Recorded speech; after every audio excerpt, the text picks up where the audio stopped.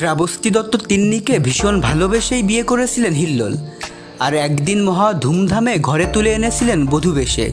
তারিখটা ছিল দু হাজার ছয় সালের আট ডিসেম্বর। বেশ উড়নচণ্ডী তিন্নিকে বিয়ে করা নিয়ে তখন অনেকেই অনেক কিছু বলেছিল, তবে গায়ে মাখেন হিল্লোল। সত্যি বলতে কি, বেশ কয়েক বছর বেশ সুখেই ছিলেন তারা। ঘর আলো করে এসেছিল কন্যা ওয়ারিশা। সকলেই সেই জুটিকে দেখে বলতেন, বাহ তবে সুখে বেশি দিন সইল না। নাটক সিনেমার মতোই একটা অনাকাঙ্ক্ষিত ঝড় এসে যেন এলোমেলো করে দিল সব। সিনেমার নায়িকা হবার জন্য তিন্নির সংসার ত্যাগ। মাদকে আসক্তি, ডিভোর্স ইত্যাদি সব মিলিয়ে কম ঝক্কি যায়নি নায়ক হিল্লোলের জীবনে। কিন্তু এতে হিল্লোল ভেঙে পড়েনি, বরং শক্তভাবে সামলে নিয়েছেন নিজেকে, আর আবার শুরু করেছেন জীবন। আর এই পথ চলার তার সঙ্গী হয়েছেন মডেল ও অভিনেত্রী নৌসিন নৌসিনেরও অবশ্য এটা প্রথম বিয়ে নয়।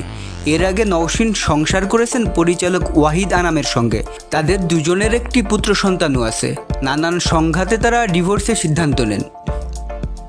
বেশ মজার নৌসিন হিল্লোলের প্রেম কাহিনী। রীতিমতো সিনেমাটিক যাকে বলে। বিভিন্ন পত্রিকার তথ্য অনুযায়ী হিল্লোল প্রায়ই একমাত্র কন্যা ওয়ারিশাকে শুটিং স্পটে নিয়ে যেতেন।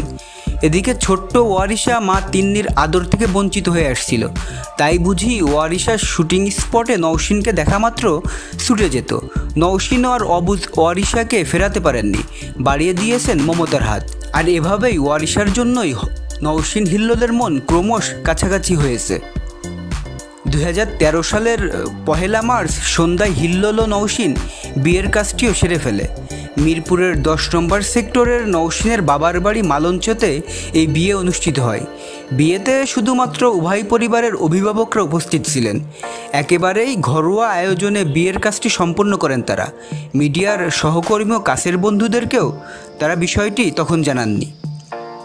তো বন্ধুরা, ভিডিওটি নিয়ে কোনো মন্তব্য থাকলে কমেন্টে জানান। আর আমাদের চ্যানেলে নতুন হলে সাবস্ক্রাইব করুন। ধন্যবাদ সবাইকে।